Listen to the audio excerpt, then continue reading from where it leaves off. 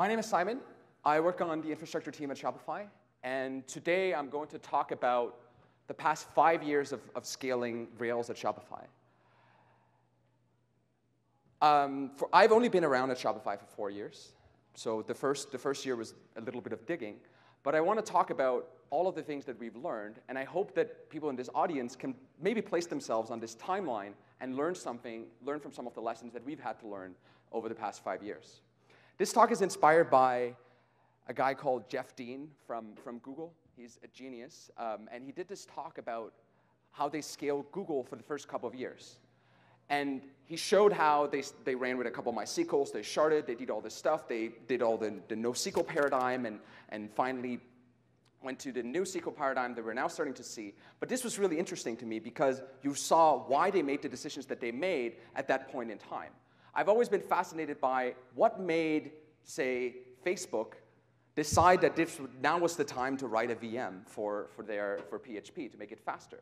So this talk is about that. It's about an overview of the decisions we've made at Shopify, and less so about the very technical details of all of them. It's to give you an overview um, and mental model for how we evolved our platform. And there's tons of documentation. Test. Okay. There's tons of documentation out there on all of the things I'm going to talk about today. Other talks by coworkers, blog posts, readmes, and things like that. So I'm not going to get into the weeds, but I'm going to provide an overview. I work at Shopify, and at this point, you're probably tired of hearing about Shopify. So I'm not going to talk too much about it. Just overall, uh, Shopify is something that allows merchants to sell people to other people, and that's relevant for the rest of this talk. We have hundreds of thousands of people who depend on Shopify for their livelihood, and through this platform, we run almost 100K RPS at peak. The largest sales hit our Rails servers with almost 100K requests per second. Our steady state is around 20 to 40K requests per second, and we run this on 10 thousands of workers across two data centers.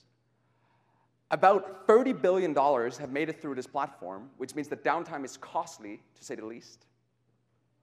And these numbers you should keep in the back of your head as the numbers that we have used to, to go to the point that we are at today.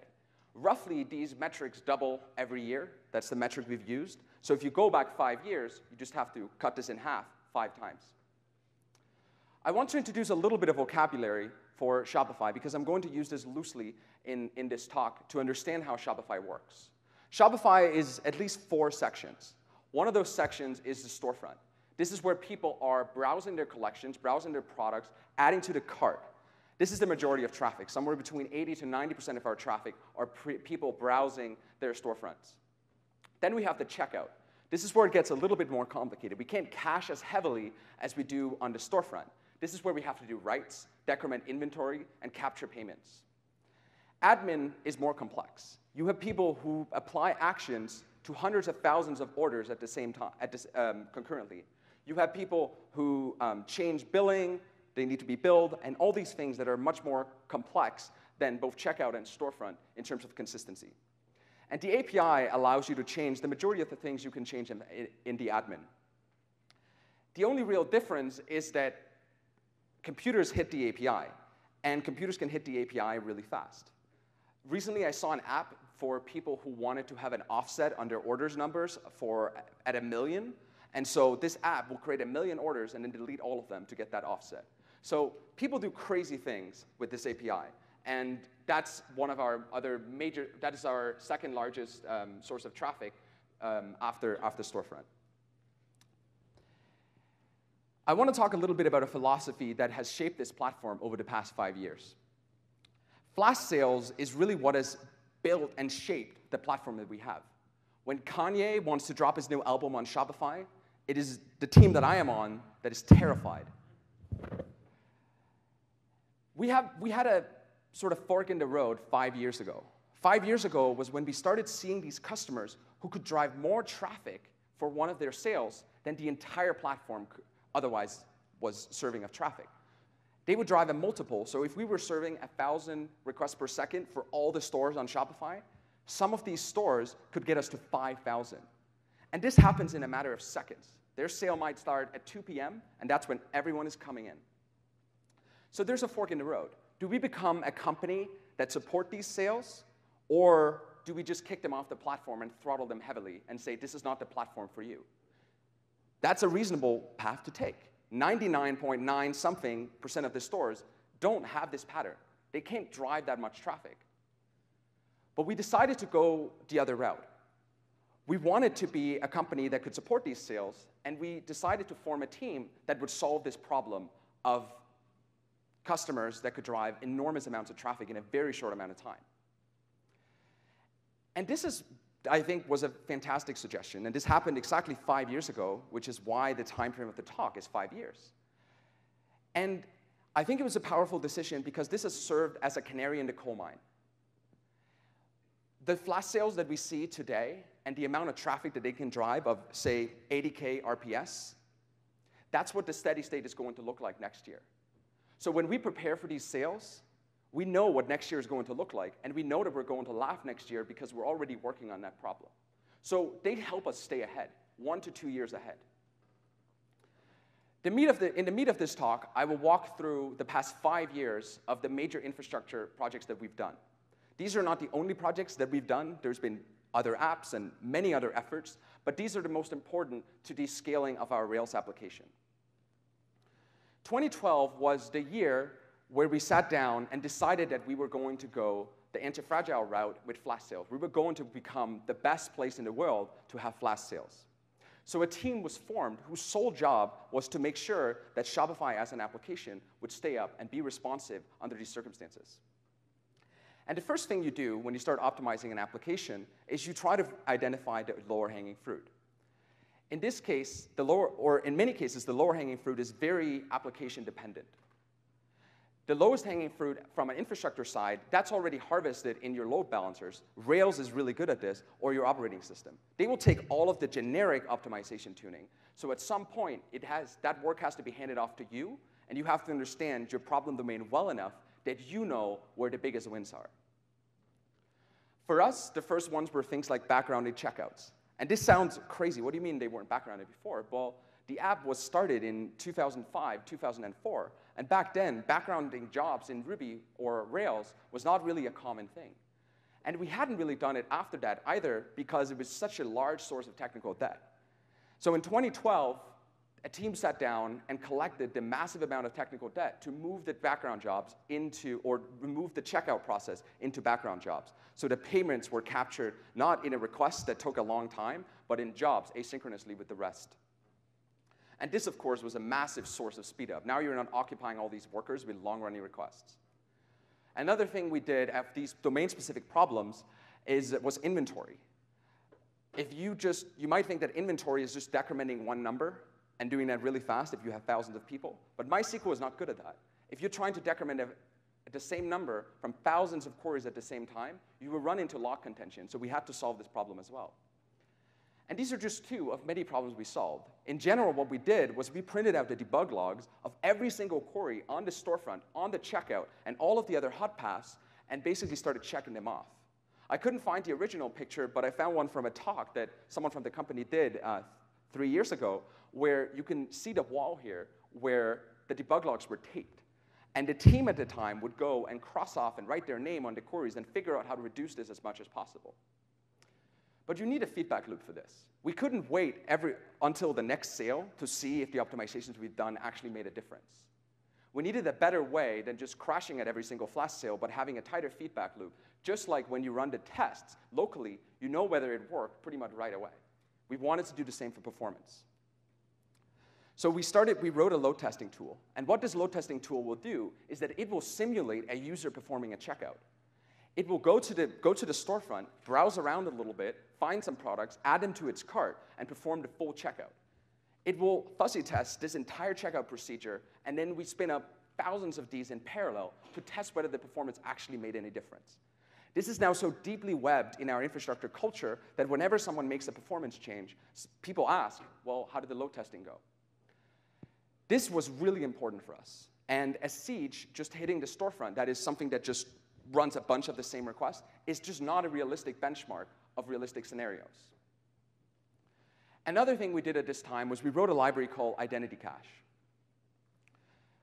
we had a problem with, we had one MySQL at this point hosting tens of thousands of stores. And when you have that, you're pretty, pretty protective of that single database. And we were doing a lot of queries to it. And especially these sales were driving such a massive amount of traffic at once to these databases. So we needed a way of reducing the load on the database. The normal way of doing this, or the, the most common way of doing this, is to start sending queries to the read slaves.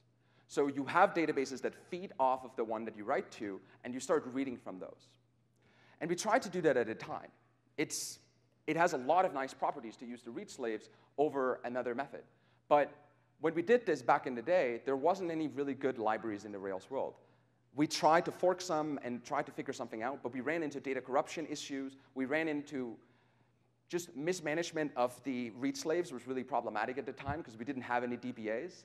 And overall, mind you, this is a, this is a team of Rails developers who just had to turn um, infrastructure developers and understand all of this stuff uh, and learn it at the job because we, were, we decided to, to handle flash sales the way that we did.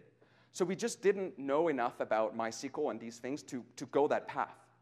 So we decided to figure out something else. And deep inside of Shopify, Tobi had written a commit many, many years ago introducing this idea of identity cache, of managing your cache out of bound in Memcache. Idea being that if I query for a product, I look in Memcache first and see if it's there. If it's not, if it's there, I'll just grab it and not even touch the database.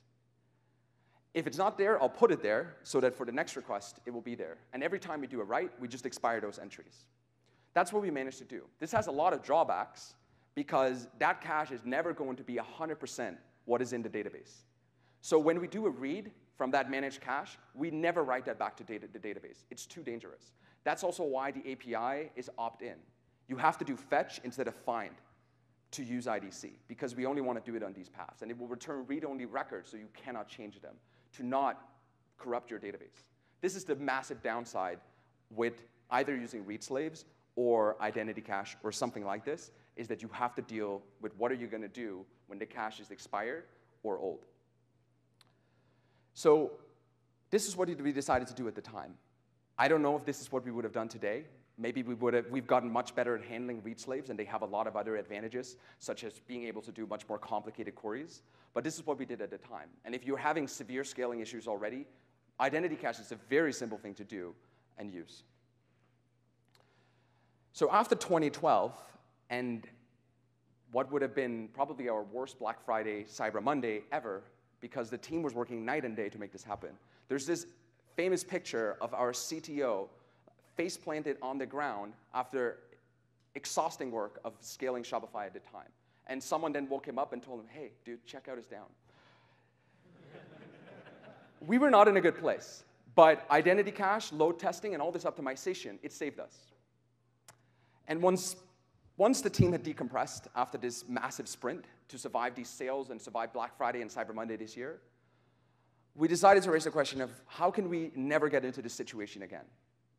We'd spend a lot of time optimizing checkout and storefront, but this is not sustainable. If you keep optimizing something for so long, it becomes inflexible. Often fast code is hard to change code. If you've optimized storefront and checkout and had a team that only knew how to do that, there's going to be a developer who's going to come in, add a feature, and add a query as a result. And this should be okay. People should be allowed to add queries without understanding everything about the infrastructure. Often the more slower thing is more flexible. Think of a completely normalized schema. It is much easier to change and adapt upon, and that is the entire point of a relational database. But once you make it fast, it often is a trade-off of becoming more inflexible. Think of, say, a, an algorithm, um, a bubble sort. n square is how much is the complexity of the algorithm. You can make that really fast. You can make that the fastest bubble sort in the world. You can write a C extension in Ruby that has inline assembly, and this is the best bubble sort in the world. But my terrible implementation of a quicksort, which is n log n complexity, is still going to be faster.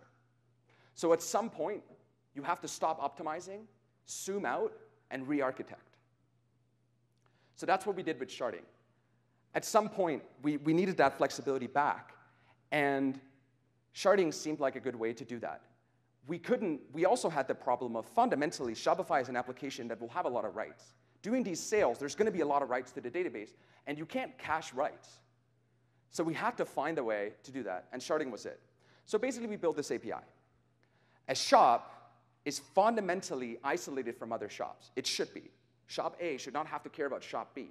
So we did per shop sharding, where one shop's data would all be on one shard, and another shop might be on another shard, and a third shop might be on the, together with the first one. So this was the API. Basically, this is all the sharding API internally exposes. Within that block, it will select the correct database where the product is for that shop. Within that block, you can't reach the other shard. That's illegal. And in a controller, this might look something like this. At this point, most developers don't have to care about it. It's all done by a filter that will find a shop on another database, wrap the entire request in the connection that that shop is on, and any product query will then go to the correct shard. This is really simple. And this means that the majority of the time, developers don't have to care about sharding. They don't even have to know if it's existent. It just works like this. And jobs will work the same way. But it has drawbacks. There's tons of things that you now can't do. I talked about how optimization might, you might lose flexibility with optimization, but with architecture, you lose flexibility at a much grander scale. Fundamentally, shops should be isolated from each other, but in the few cases where you want them to not be, there's nothing you can do. That's the drawback of architecture and changing the architecture. For example, you might want to do joins across shops. You might want to gather some, some data or an ad hoc query about app installation across shops. And this might not really seem like something you would need to do, but the partners interface for all of our partners who build applications actually need to do that. They need to get all the shops and the installations for them. So it was just written as something that did a join across all the shops and listed it. And this had to be changed. And so the same thing went for our internal dashboard that would do things across shops, find all the shops with a certain app. You just couldn't do that anymore, so we had to find alternatives. If you can get around it, don't shard. Fundamentally, Shopify is an application that will have a lot of writes, but that might not be your application. It's really hard, and it took us a year to do and figure out. We ended up doing it at, the application level, but there's many different parts, of part, or levels where you can shard. If your database is magical, you don't have to do any of this. Some databases are really good at handling this stuff, and you can make some trade-offs at the database level so you don't have to do this at an application level. But there are really nice things about being on a relational database. Transactions and, and schemas and the fact that most developers are just familiar with them are massive benefits. And they're reliable. They've been around for 30 years, and so they're probably going to be around for another 30 years at least. We decided to do that at the application level because we didn't have the experience to write a proxy, and the databases that we looked at at the time were just not mature enough. And I actually looked at some of the databases that we were considering at the time, and most of them have gone out of business. So we were lucky that we didn't buy into this proprietary technology and solved it at the level that we felt most comfortable with at the time. Today, we have a different team, and we might have solved this at a proxy level or somewhere else, but this was the right decision at the time. In 2014, we started investing in resiliency. And you might ask, what is, what is resiliency doing in a talk about performance and scaling? Well, as a function of scale, you're going to have more failures. And this led us to a threshold in 2014 where we had enough components that failures were happening quite rapidly, and they had a disproportional impact on the platform. When one of our shards was experiencing a problem, requests to other shards and shops that were on the other shards were either much slower or failing altogether. It didn't make sense that when a single Redis, Redis server blew up, all of Shopify was down. This reminds me of a concept from chemistry where your reaction time is proportional to the amount of surface area that you expose. If you have two glasses of water and you put a teaspoon of loose sugar in one and a sugar cube, a cube in the other glass, the glass with the loose sugar is going to be dissolved in the water quicker because the surface area is larger. The same goes for technology. When you have more, more servers, more components, there's more things that will react and can potentially fail and make it all fall apart. This means that if you have a ton of components and they're all tightly knitted together in a web, where, one of, where if one of these components fail, it drags a bunch of others with it, and you have never thought about this, adding a component will probably decrease your availability. And this happens exponentially. As you add more components, your overall availability goes down. if you have 10 components with four nines, you have a, a lot less downtime if they're tightly webbed together in a way that one of them is a single point of failure. And we hadn't really at this point had the luxury of finding out what our single point of failures even were. We thought it was going to be okay, but I bet you, if you haven't actually verified this, you will have single points of failure all over your application where one failure will take everything down with it. Do you know what happens if your Memcache cluster, cluster goes, goes down? We didn't, and we were quite surprised to find out. This means that you're only really as weak or as good as your weakest single point of failure. And if you have multiple single points of failure, multiply the probability of all of those single points of failures together, and you have the final probability of your app being available. Very quickly, the, what looks like downtime of hours per component will be days or even weeks of downtime globally amortized over an entire year. If you're not paying attention to this, it means that adding a co component will probably decrease your overall availability. The outages look something like this. Your response time increases, and this is, this is a real graph of the incidents at the time in 2014, where something became slow. And as you can see here, the timeout is probably 20 seconds exactly. So something was being really slow and hitting a timeout of 20 seconds. If all of the workers in your application are spending 20 sec seconds waiting for something that's never going to return because it's going to timeout, then there's no time to serve any requests that might actually work. So if shard 1 is slow, requests for shard 0 are going to lag behind in the queue because these requests to, to shard 1 will never ever complete. The mantra that you have to adopt if, when this starts becoming a problem for you is that single component failure cannot compromise the availability or performance of your entire system. Your job is to build a reliable system from unreliable components. A really useful mental model for thinking about this is the resiliency matrix. On the left-hand side, we have all the components in our infrastructure. At the top, we have the sections of the infrastructure, such as admin, checkout, storefront, the ones I showed from before. Every cell will tell you what happens if that component on the left is unavailable or slow.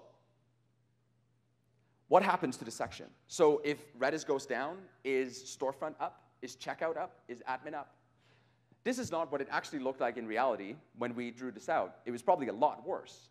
And we were shocked to find out how red and blue, how down and degraded Shopify looked when what we thought were tangential um, data stores like Memcache and Redis took down everything along with it.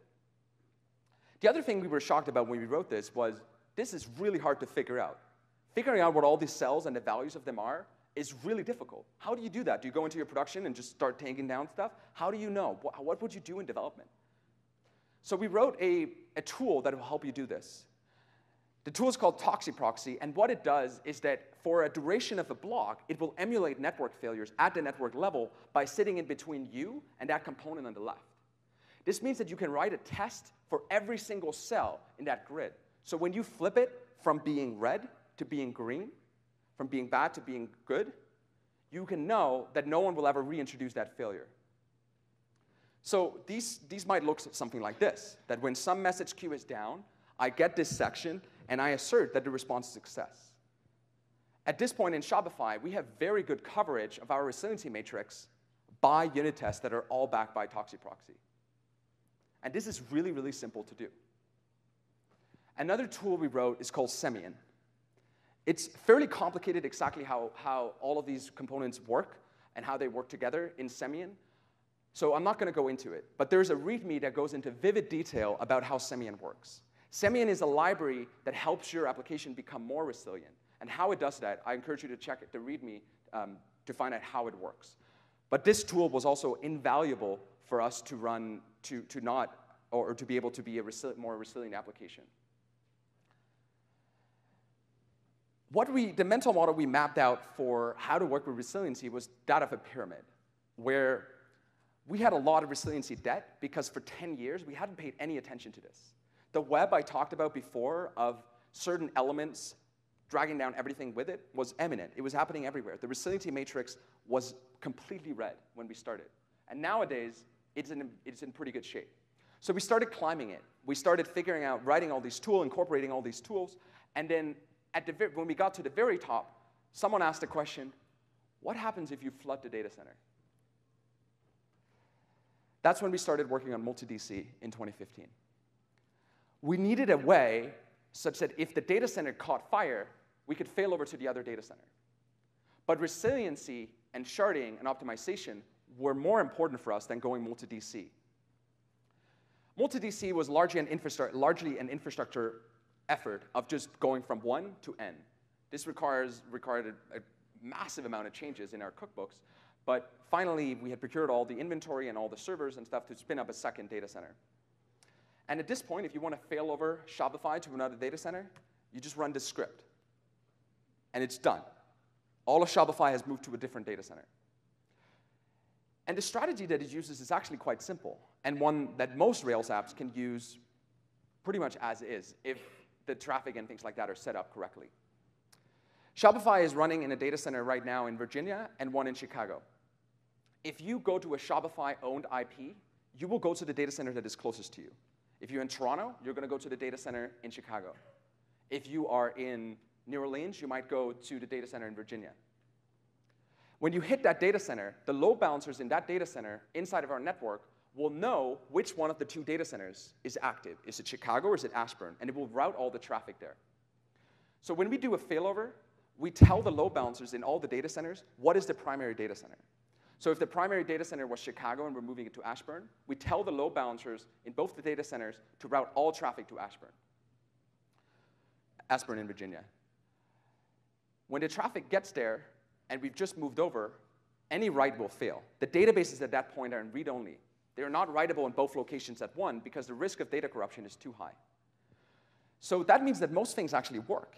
If you're browsing around Shopify and Shopify, Shopify storefront, looking at products, which is the majority of traffic, you won't see anything. Even if you are in admin, you might just be looking at your products and not notice this at all.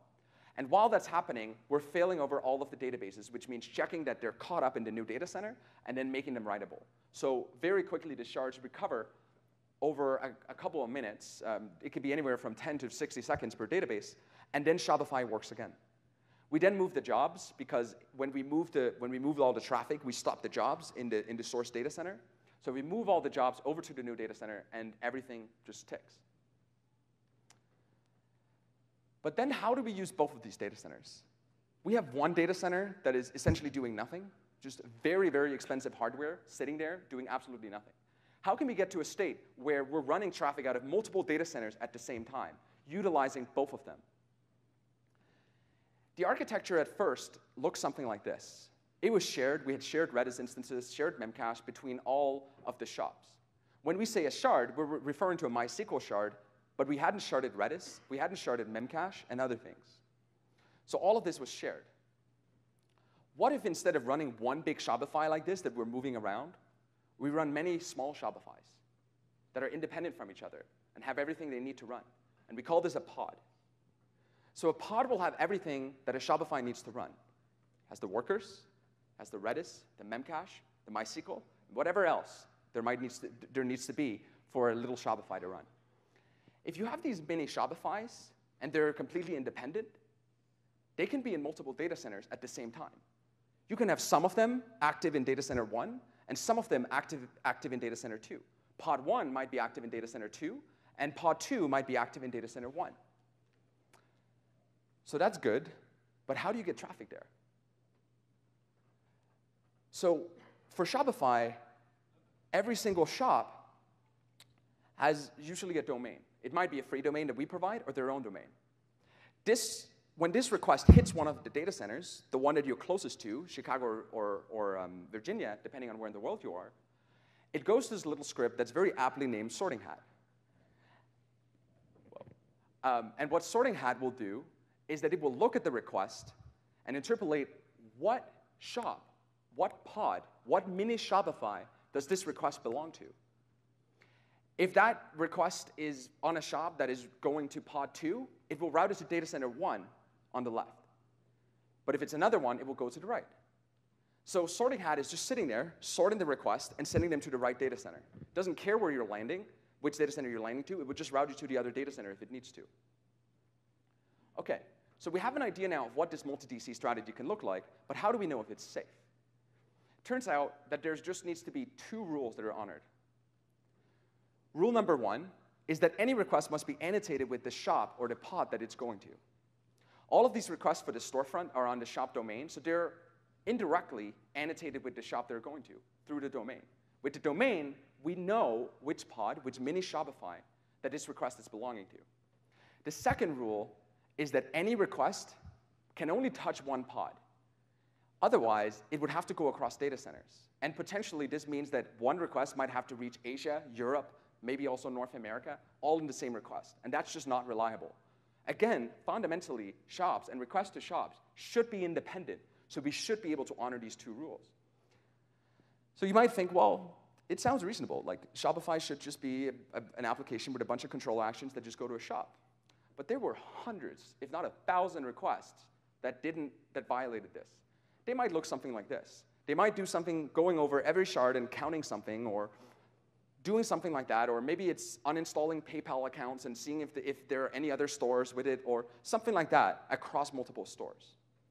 When you have hundreds of endpoints that are violating something you're trying to do, and you have 100 developers who are doing all kinds of other things and introducing new endpoints every single day, that's going to be a losing battle if you just send an email, because tomorrow someone joins who's never read that email who's going to violate this.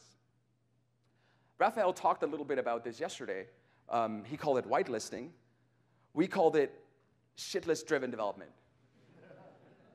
the idea is that your job, if you want to honor rule one and two, is to build something that gives you a shit list, a list of all the things that violate the rule. If you do not obey the shit list, you raise an error telling people what to do instead. This needs to be actionable. You can't just tell, tell people not to do something unless you provide an alternative, even if the alternative is that they come to you and you help them solve the problem. But this means that you stop the bleeding, and you can then, going forward, rely on rule one and two, in this case, being honored. When we had this for Shopify, rule one and two honored, our multi-DC strategy worked. And today, with all of this, building a top of five years of work, we're running 80,000 requests per second out of multiple data centers. And this is how we got there. Thank you.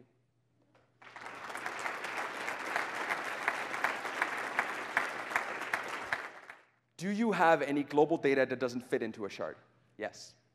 We have a dreaded master database, and that database holds data that doesn't belong to a single shop. In there is, for example, the shop model, right? We need, we need something that stores the shop globally because otherwise the load balancers can't know globally where the shop is. Other examples are apps. Apps are sort of inherently global, and then they're installed by many shops. It can be billing data because it might span multiple shops partner data. There's actually a lot of this data. So I didn't go into this at all, but I actually spent six months of my life solving this problem. So we have a master database, and it spans multiple data, multiple, multiple data centers. And the way that we solve this is essentially we have read slaves in every single data center that feed off of a master database that is in one of the data, data centers. If you do a write, you do cross-DC writes. This sounds super scary, but we eliminated pretty much every path that has a high SLO from writing on this. So billing has a lower SLO in Shopify because the writes have to be cross DC. But the thing is that billing and partners and the other sections of this master database, they're in different sections. They're fundamentally different applications. And as we speak, they're actually being extracted out of Shopify because Shopify should be a completely sharded application. And if they're extracted out of Shopify, then you're also doing a cross DC write because you don't know where that thing is. So it's not really making the SLOs worse. And it's okay that some of these things have lower SLOs than the checkout and storefront and the admin that have the highest SLOs. So that's how we deal with that. Um, we don't really deal with it. How do you deal with a disproportionate amount of traffic to a single pod or a single shop? So the, I showed a diagram earlier that shows that the workers are isolated per pod. This is actually a lie. The workers are shared, which means that a single pod can grab up to 60 to 70% of all of the capacity of Shopify. So what's actually isolated in the pod are all the data stores. And the workers can sort of move between pods, fluid, like they're fungible. They will move between pods on the fly. The load balancer just sends requests to it, and it will appropriately connect to the correct pod. So this means that the maximum capacity of a single store is somewhere between 60 and 70% of an entire data center. And it's not 100% because that would cause an outage because of a single store, which we're not interested in. But that's how we sort of move this around. Does that answer? How do we deal with large amounts of data? Yeah. Like someone, someone who's doing uh, importing 100,000 customers or 100,000 orders. Well, this is where the multi-tenancy strategy or architecture sort of shines. These databases are massive, half a terabyte of memory, many, many tens of cores. And so if one customer has tons of orders, then that just fits. Um, and if the, if the customer is so large that it needs to be moved, that's sort of what this defragmentation project is, is around, is around moving these stores to somewhere where there might be more space for them. So basically, we just deal with it by having massive, massive data stores that can handle this without a problem. The import itself is just done in a job. Uh, some of these jobs are quite slow for the big customers, and we need to do some more parallelization work. But most of the time, it's not a big deal. If you have millions of orders and it takes a week to import that, you have plenty of other work to do, do during that time um, otherwise. So this is not something that's been high, high on the list. Uh, how much time I have? Done? Okay, thank you.